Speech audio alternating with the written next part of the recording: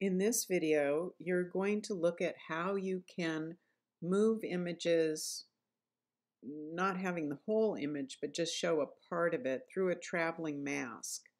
I'm going to bring in an image that I made, and I'm doing it the same way. So File, Place, Embedded. And I took a shot that had a lot of birds in it.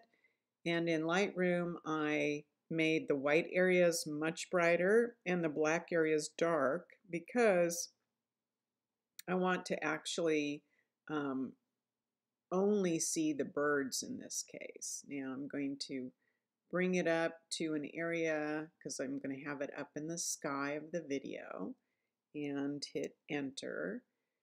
And now what I'm going to do is if you, since this is a smart object, if I want to change the blending modes, I have to actually click on where it says FX and I'm going to go to blending options and I'm going to um, shift so that if it's white it disappears. Now to make it a more subtle transition I would hold down the option key and that splits those two guys but basically I am getting rid of all of the white and you want to just make sure uh, you'd look at your image to make sure that's the case.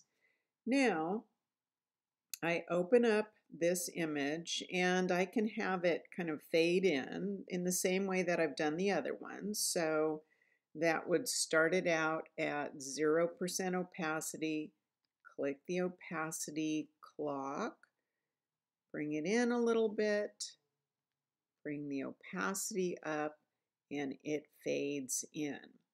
Now, I don't want to, I want to actually have it feel like it's moving. So to do that, I'm going to do something and I'm going to start at the point that it's visible. Otherwise, uh, I'm not going to see it. I'm going to option click the layer mask, which loads a black mask. And I'm going to disconnect the two so that I can move the mask separately from the image. And I'm going to now place with paint with white just to reveal one small area of it and place it where I want it to be. Now I'm going to drag back to the beginning because I actually want it to come in moving. And so now I click on over here, layer mask position, and I'm going to go ahead and drag it for the full length of time I want it to move. And now I go ahead and use the move tool and move that mask. And you can see what happened is just that one little spot moves. And it gives the impression that the birds are traveling across.